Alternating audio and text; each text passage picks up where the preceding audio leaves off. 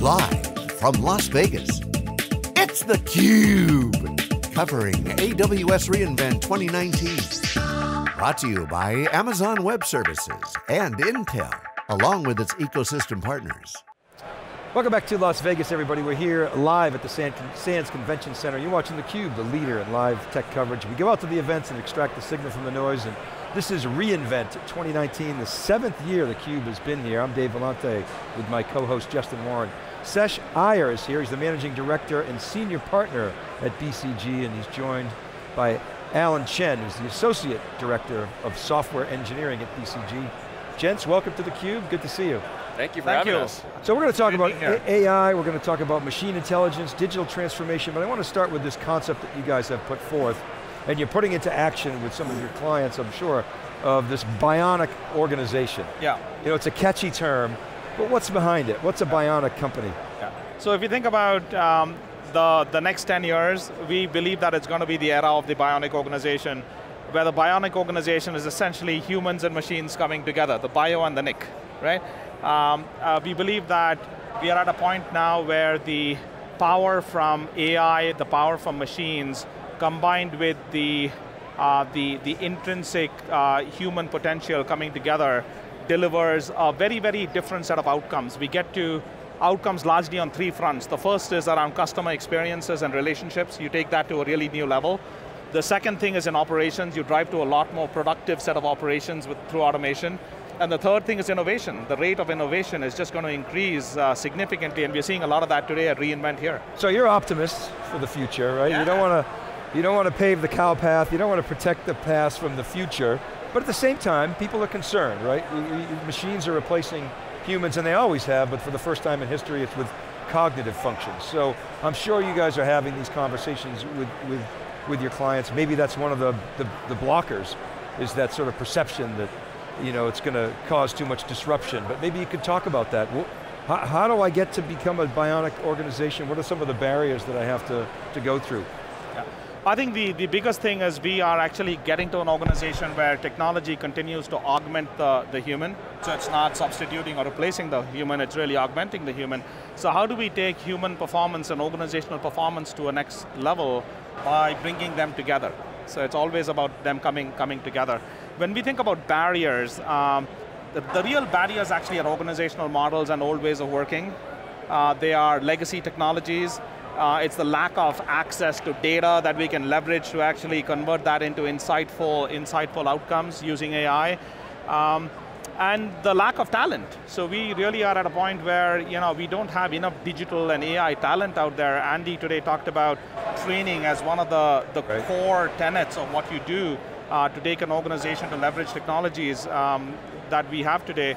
Um, so those are the things that are barriers today that we're working with our clients on to overcome to be able to extract the full potential of what we can do. So Allen, maybe you could talk a little bit about BCG's AI business. Uh, yeah, how do you guys look at it? Maybe share that with our audience. I mean, as Sesh mentioned, the bionic organization really has two parts, right? It has the human element and it has the machine element. And AI is really the thing that underpins the backbone for the machine element, but you can't really disconnect it from the human because, uh, you know, as we see with our clients, if you just do the algorithms themselves, the algorithms can't change the business, right? You can't remove the algorithms from the context of the business, the people who need to make the cultural changes, the organizational changes, the priority changes to actually put those algorithms into action.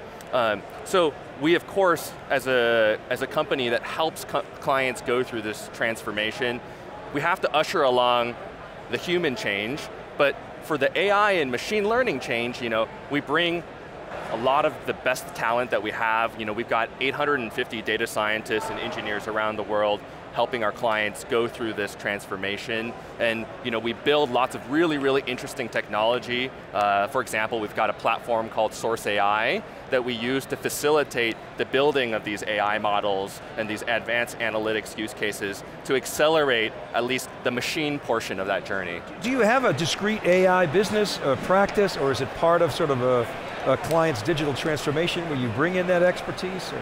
Yeah, so Within BCG, we have a group called BCG Gamma, which is the arm of the company that focuses so solely on AI and machine learning use cases. But the thing is, our model isn't just to kind of embed ourselves into your company and try to like take root and be there forever. We want to empower these companies to kind of kickstart their journey so we can go in, we help them get started, prove out a few use cases, and then we actually train and transfer them so that they can make sure that the programs that we helped plant the seeds for end up being long-term sustainable programs for them. Teaching them to fish. Exactly. when, we, when we think about what really drives impact and outcome at clients, it's all about bringing together the different capabilities that we have. So we have our heritage strategy consulting business, right? We have Gamma, which is our AI at scale data analytics business.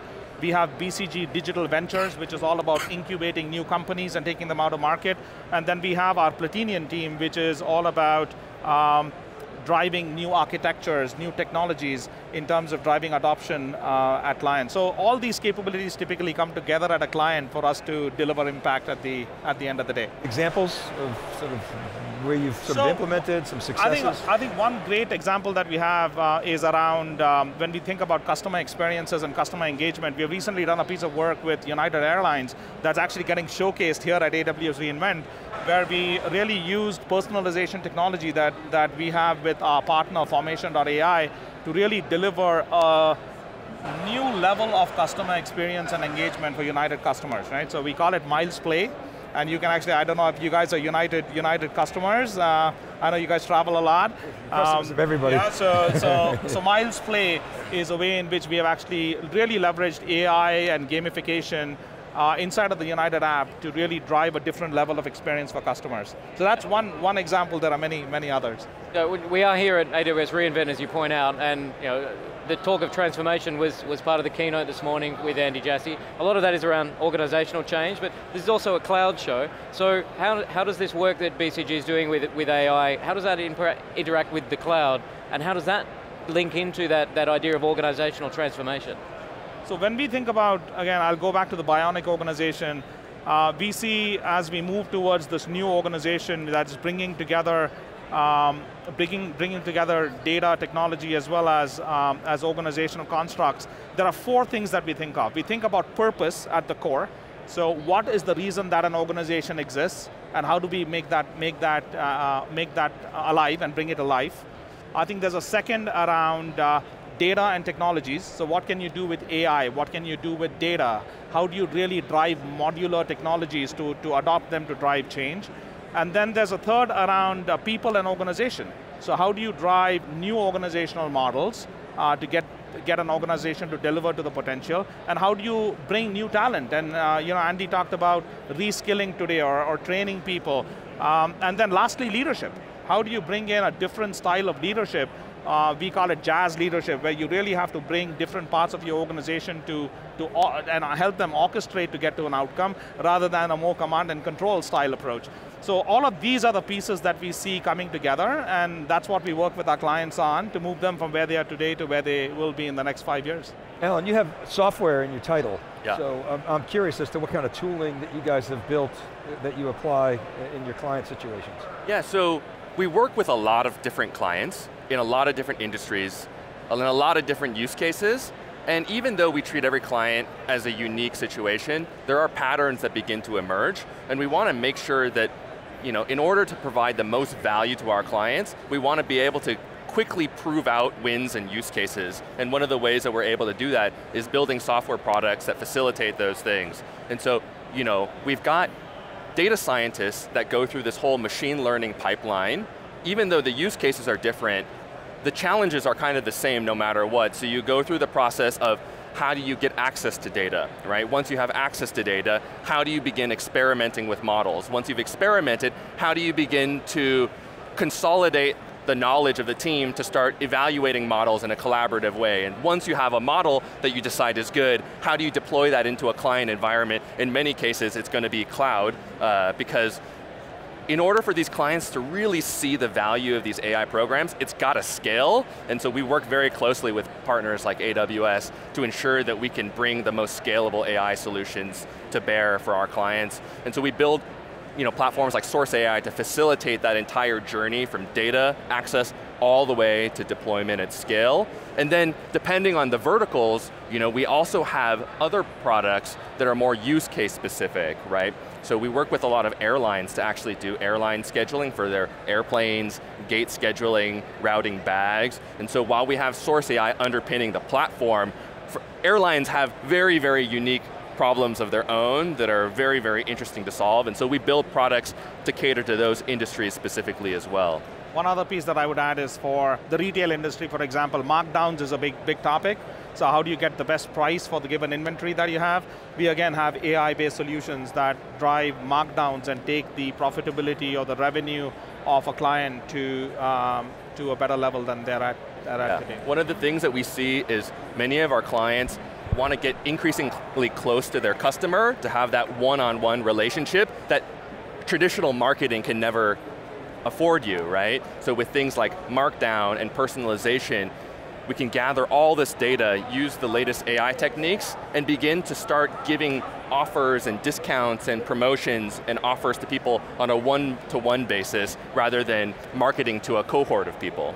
Yeah.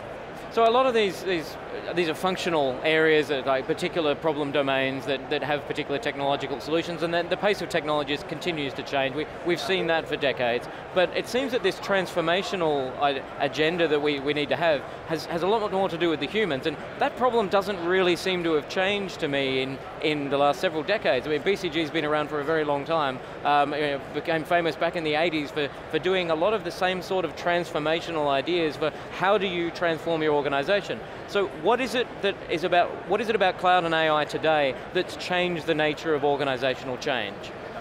So my sense change in there. My sense is if you think about, uh, maybe there are two points to make here and then Allen you should add on. I think one is, it's always easy to bring AI and data and do a proof of concept, right?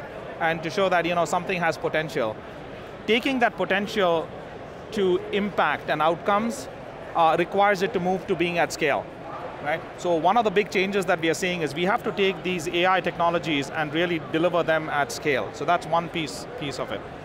I think the, um, the other piece that really becomes, becomes important is um, leveraging, leveraging AI for the right context in which you're applying the, applying the solve for. So you need to go into targeted spaces, as Allen said, certain use cases that have huge impact, uh, and go after it and deliver value there as opposed to trying to do something a lot more expansively. So how do you now go into specific industries and identify unique areas that have a lot of promise and potential and then put your energy against that to get to, get to again, impactful outcomes. Right, yeah. we had that example around markdowns, we've talked about airline optimization, we've talked about personalization, uh, all of these are good examples of very targeted areas that have a lot of potential to really drive, drive value. Yeah, like one of the things that I see that cloud has changed the transformation process is just the ability for us to very quickly experiment with new use cases, right?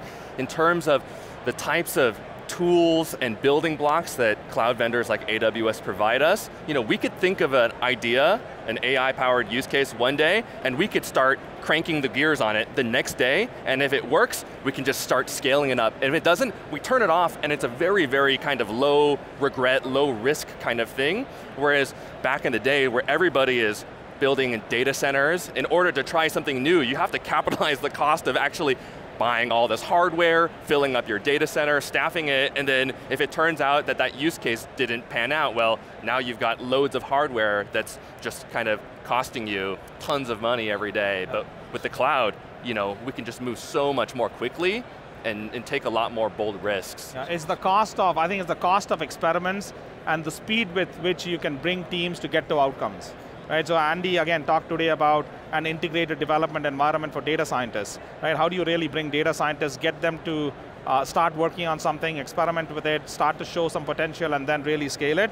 Those are things that we believe, you know, cloud has really immensely changed. Um, the other thing is access to massive, massive data sets. Right? Uh, again, Andy today talked about how uh, different data sets can be brought into Amazon uh, and the ability to do that easily today. So how can you really create value from these billions and billions of, of rows of data that are sitting out there in your enterprise and converting that into something meaningful? So that approach and that philosophy of sort of low risk, uh, pick a winner, scale it, uh, first of all, the CFO loves it. uh, I think generally the organization is going to you know, see value. Yeah. They can, they can, it's tangible. However, uh, I, I think about digital disruption, and if you, if you think about the successful digital companies, they've got data at the core. So my question to you is, are you helping these sort of incumbents, you mentioned United, I'm sure there are many others that you work with, are they able to sort of transform and, and, and you know, put data at their core, become you know, a digitally transformed organization before somebody disrupts them? Yeah. You know, will those, maybe not quick hits, but those focused projects, will they ultimately lead to an outcome that transforms them in the way that Jassy was sort of putting forth today? I, I, would, I think so. I think that's the promise of the next five years. So if I think about, you know, uh, when we talk about a bionic organization, we talk about 30 to 50 processes that that organization will have. I mean, my sense is those processes will have 50 to 60% of the components that are driven by AI or data. Yeah. Right? So if you think about an incumbent today working in manual processes, legacy systems, right? They are going to actually move to leveraging AI and data and new, new ways of working to transform that, that legacy environment into a next gen uh, technological environment, but also ways of working, and then bringing all of that together to drive a very different level of engagement with the customer, experiences with the customer, uh, how they actually run their operations, do it much faster, reduce cycle time, and then also the rate and pace of innovation, right? You can see today the number of new features that got released on AWS, and it's all been in a year, and there were like 30 of them. So how do you really drive to that level of rate and pace of innovation? We'll see all of those happening in all of these traditional industries uh, over the next five years. And if they don't move, they're going to they're going to probably they're, be in big trouble. They're going to be in big trouble. They're going to die. Yeah. All right, guys. Thanks so much for coming to the Cube. It was great, great no, conversation. Great pleasure. to have you. Thank yeah, you. Thank you All so right. much for the time. All right, keep it right there, everybody. We'll be back with our next guest right after this short break. Dave Vellante for Justin Warren from AWS reInvent 2019. Right back.